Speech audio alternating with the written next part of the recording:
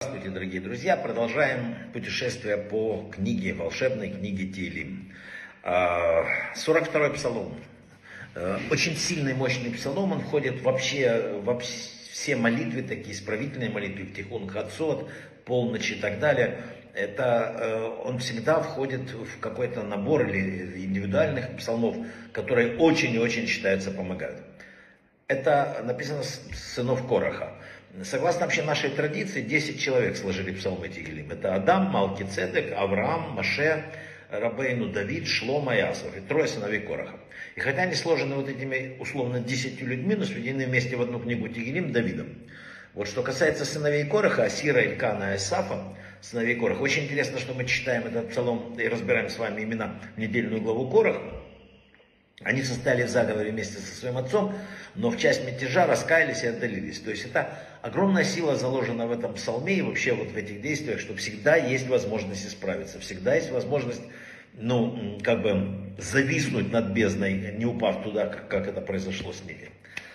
Этот псалом рекомендуют читать, если написано «строишь дом» всегда при новом начинании, ну, новую семью, новые взаимоотношения. Вообще все новое, перед началом читается этот псалом. Это еще и благословление для переезда на новое место жительства и так далее. Что еще? Перед любой молитвой, когда у тебя очень важное дело, когда ты э, что-то огромная просьба к небу у тебя и какая-то мечта, вот перед молитвой об этом читаешь 42-й псалом, он усиливает, дает большую силу. Вообще 42-й псалом, он как катализатор, он любую молитву проталкивает вперед. Поэтому э, вот в таких случаях его читают. Еще читают псалом этот, когда написано «потеряна надежда», когда вы находитесь в достаточно отчаянном положении. Читайте этот псалом, читайте, если сбились с пути, потеряли смысл жизни, если никак не можете встать на ноги после жизненных трудностей, если вас предали близкие и так далее. Вот этот момент читайте 42-й псалом.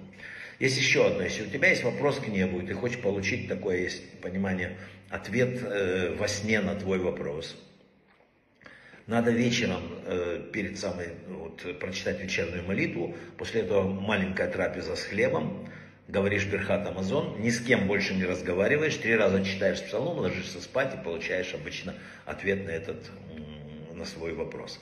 Еще этот псалом является, говорят мудрецы, молитвой о конце нашего изгнания, потому что изгнание есть основная проблема наша. Что еще? Сегодня это очень важный псалом, потому что говорят, что если есть какая-то физическая опасность, особенно на войне человек или какой-то другие опасности, чтобы спасти от нее, физическая или духовная опасность, немедленно читают 42-й псалом, если находится в критической ситуации.